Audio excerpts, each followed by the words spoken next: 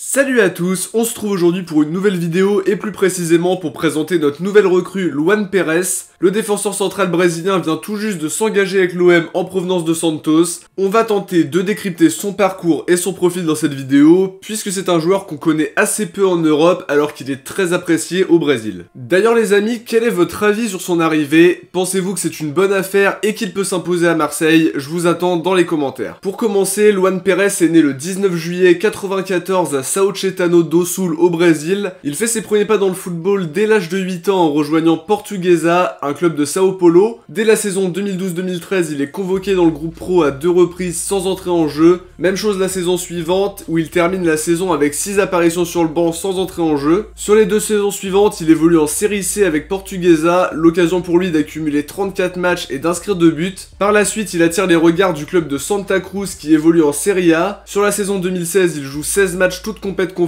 et découvre la Copa Sudamericana. En janvier 2017, il est recruté par le RB Brasil avant d'être rapidement transféré à Ituano. Il sera prêté dans la foulée à Ponte Preta, l'occasion pour lui de disputer 18 matchs et de jouer à nouveau la Copa Sudamericana. À l'issue de son prêt, il retourne à Ituano et repart directement en prêt du côté de Fluminense où il aura l'occasion de jouer 9 matchs. Deux mois seulement après son arrivée, il attire les regards du club Bruges qui débourse 500 000 euros pour se l'offrir. Sur la saison 2018-2019, il découvre la Ligue des Champions en entrant en jeu contre l'Atlético, mais ne joue que 6 petits matchs avant d'être prêté à Santos en août 2019. À son retour au Brésil, il ne joue que 9 petits matchs et fait beaucoup d'apparitions sur le banc. En 2020, il montre toute l'étendue de son talent avec Santos. Il joue 54 matchs toutes compètes confondues pour 3 passes décisives. Il devient titulaire indiscutable et prend part à la superbe épopée du club en Copa Libertadores, malheureusement perdu 1-0 contre Palmeiras en finale. En février 2021, Santos le recrute définitivement pour une somme avoisinant 2,8 millions d'euros et le sécurise pour les 4 prochaines années. Sur ce mercato d'été 2021, il est la priorité de Jorge Sampaoli qui le connaît bien pour l'avoir eu à Santos. Il voulait renforcer sa défense et il est recruté au final pour une somme estimée à 4,5 millions d'euros. Un transfert qui d'après Pérez lui-même ne peut pas se refuser, lui qui se dit très heureux de signer dans l'un des plus grands clubs français. Maintenant qu'on s'est intéressé à son parcours, on va parler de son profil et de son style de jeu. Déjà c'est un défenseur qui a un grand gabarit puisqu'il mesure 1m90. Son poste de prédilection c'est évidemment défenseur central. Il a déjà évolué en latéral gauche, il a fait aussi un petit match au poste de milieu gauche. C'est un gaucher qui est très à l'aise techniquement. Comme on l'a dit, c'est un grand gabarit qui doit se perfectionner dans les duels aériens, même s'il est loin d'être ridicule dans cet exercice. Il aime accompagner les attaques, il a une bonne capacité de percussion, une bonne vision de jeu notamment, et est capable de casser des lignes. C'est un défenseur combatif qui se donne sur le terrain et qui est à l'aise dans les duels. Défensivement, il est solide, plutôt serein. Il avait malgré tout beaucoup de liberté au Brésil en ce qui concerne les montées, des situations qu'il devra tempérer,